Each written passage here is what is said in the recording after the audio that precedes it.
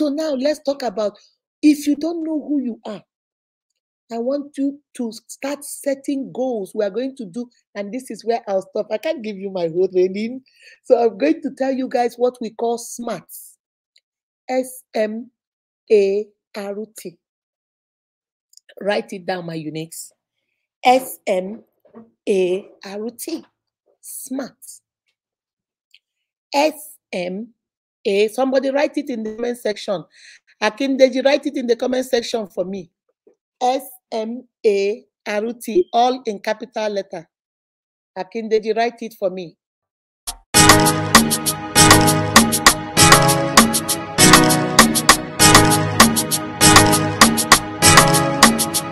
Live from Atlanta, Georgia. Beautiful, wonderfully made by God. Welcome to the Big Show. S M A R T, smart, because that's the, how we are going to achieve.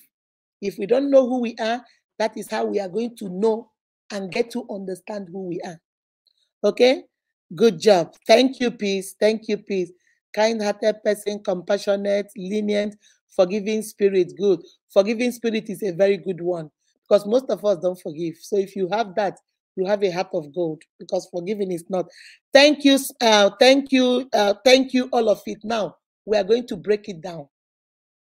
If you don't know who you are, or you're a little bit confused, or you just know two or three things about you, now we are going to tell you how you can set goals of achieving who you are, of knowing who you are. The first one there says S, and it stands for specific. You must be specific. You must be specific to find out, even if it is the smallest thing.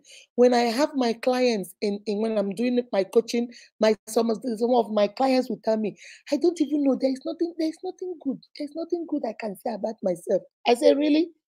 Do you like your glasses? Yeah. I say, put it down there. Do you like the way your nose is shaped? Yes, put it down there. You see, you have to be specific because when I say, tell me something unique about yourself, some of you were like, okay, okay, and let me say the big ones. I'm kind, I am this, I'm that. But do you know other things that make you unique might be the way you look, might be the color of your skin, might be the way your teeth is, might be the way your ears are, might be your fashion sense, might be the way you do your hair. Be specific.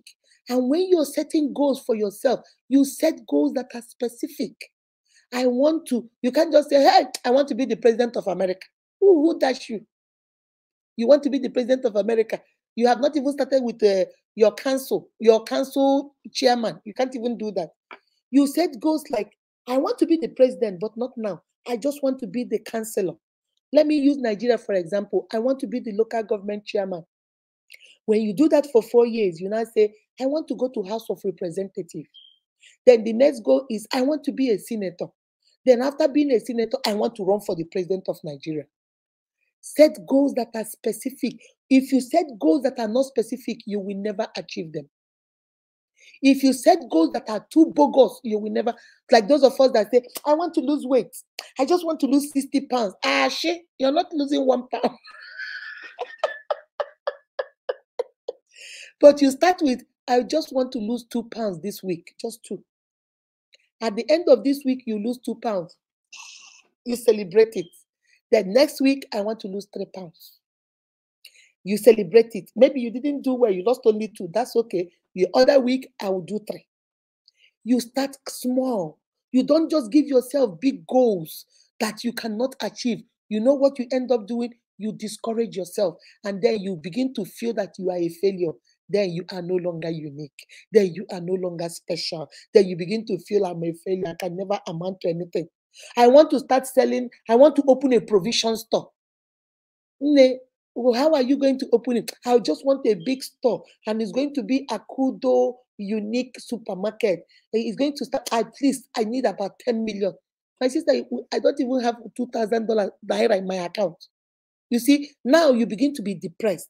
Now, this is how they rob you of your uniqueness. They take it away from you and your special being because you are now beginning to feel, oh, I said my New Year resolution is to start an Akudo unique supermarket. Ah, this year has ended again. I have failed again. Eh, Akudo, it is stupid. It is stupid. It is stupid. Can never achieve anything. It is too big. But you can start with, you know, this year I'm going to start a business. And that business I'm going to start is that I know how to do puff puff. I will do puff puff and take to all the elementary schools around us and ask them, can I sell puff puff in their school? And then I'll be taking to supermarkets to give them my puff puff to sell. Then when I get a little bit of money, I'm going to do a label and call it Unique Akudo Puff Puff. Put a label, package it in a nice and start sending to supermarkets. That's your next goal.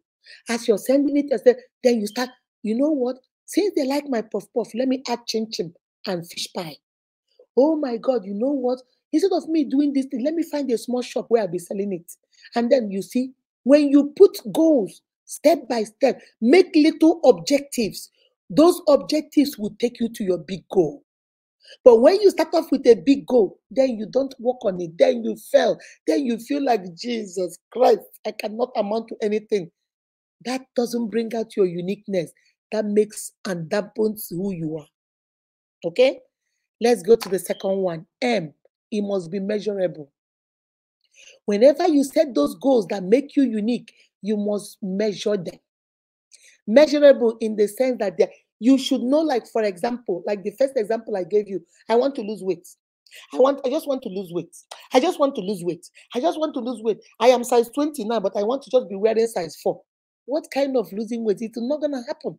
Because from size 20 to size 4 is 16 different sizes in between. But if you can make it measurable, I want to lose two pounds this month. I am only losing five pounds this month. Next month, I will lose 10 pounds.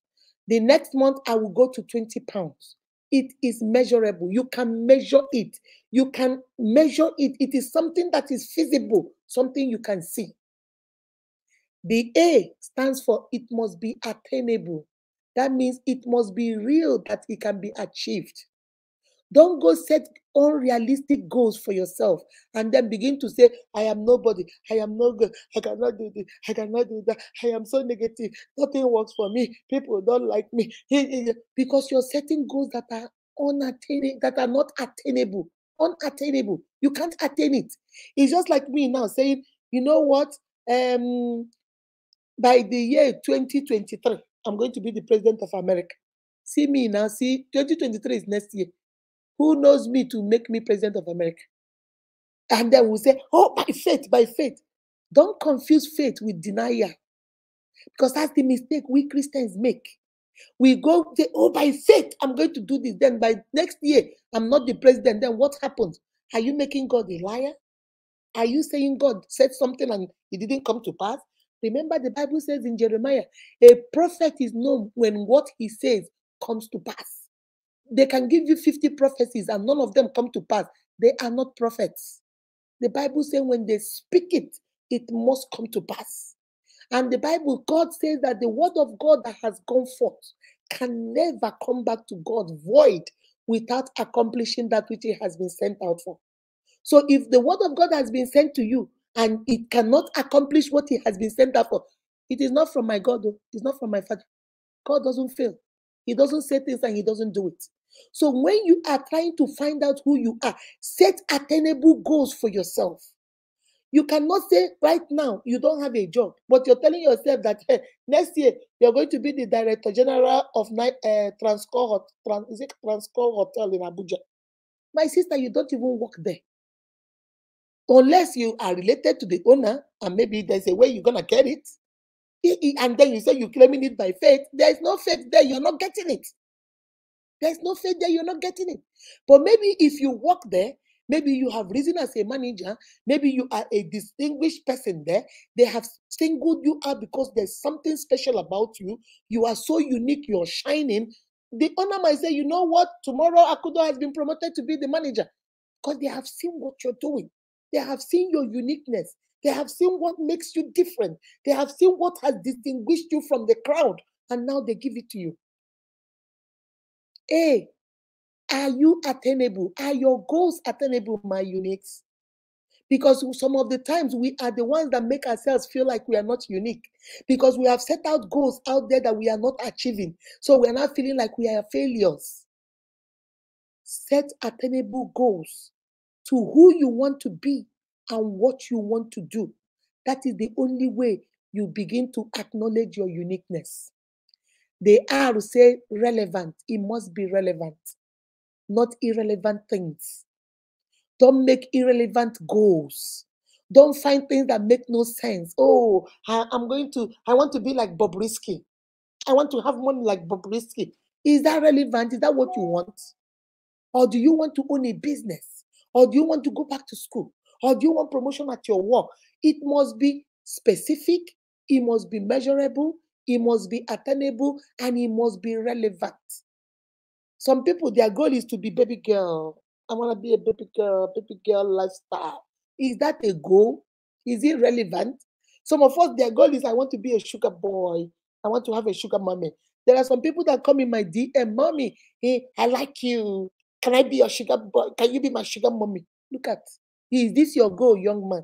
Your goal in life is to go to a married woman to be her sugar boy or sugar whatever you people call yourself, side dude. Is that the only goal you have in life? Is irrelevant. Other boys are there looking for ways to make money. And your only way to riches is to go date a married woman that you think is rich or a married man that you think is rich. Are your goals relevant? And then the last one, T, is is it time conscious? Give yourself time. Don't say, um, I'm gonna lose weight. I'm gonna lose weight this year. This year is 12, 12 months.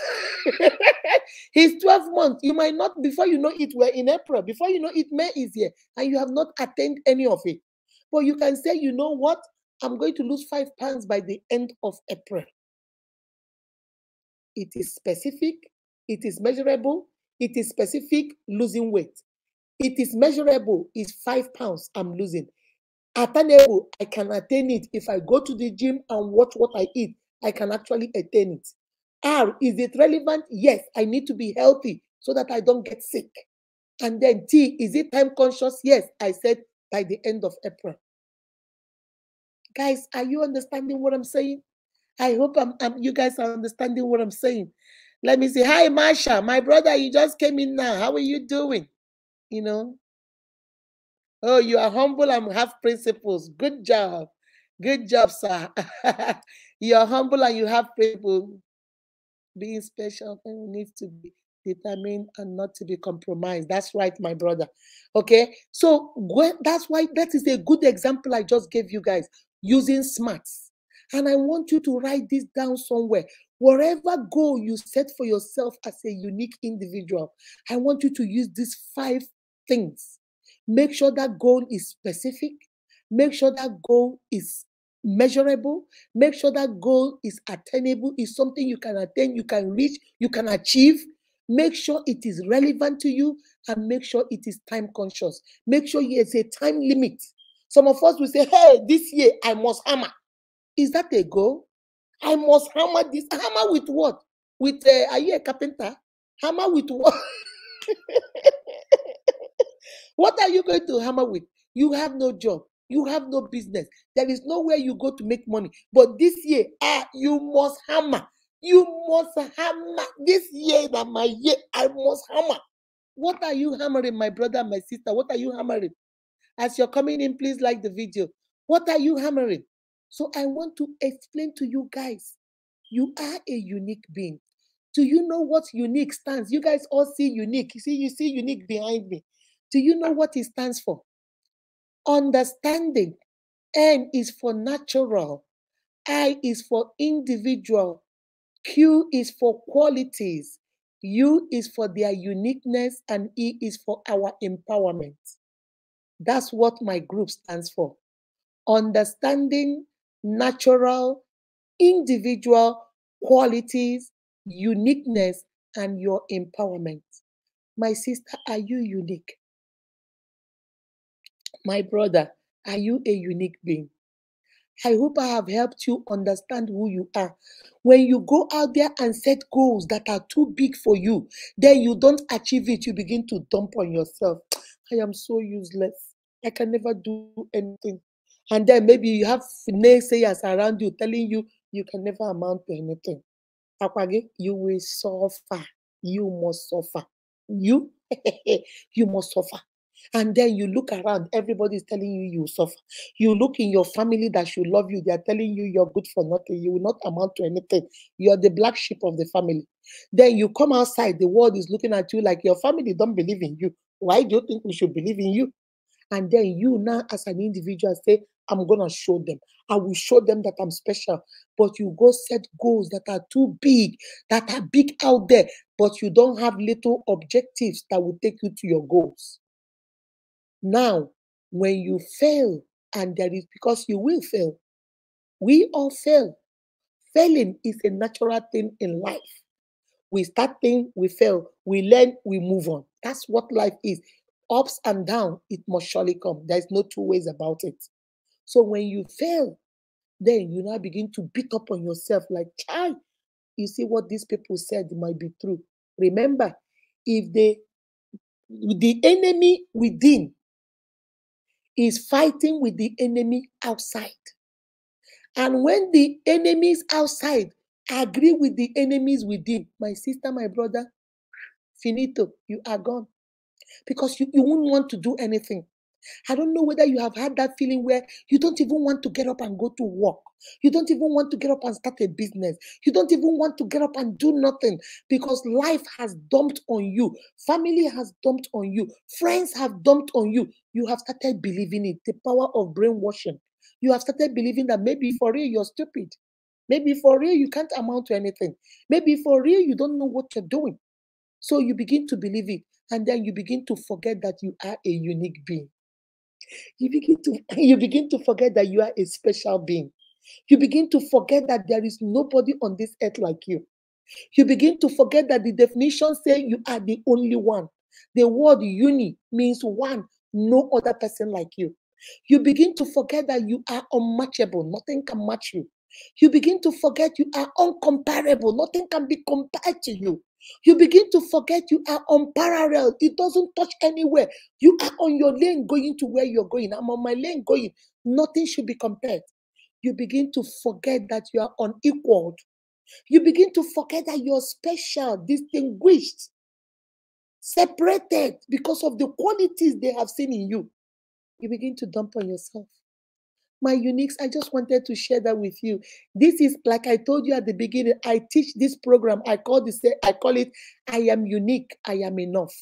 It's eight weeks coaching program but I, I do it for my clients but i just decided you know what i was going to come and share it with you guys. Just this is the introduction. We have a whole thing we do. I, you know some activities we do some words of affirmation we do. And i want to teach you guys something before i leave words of affirmation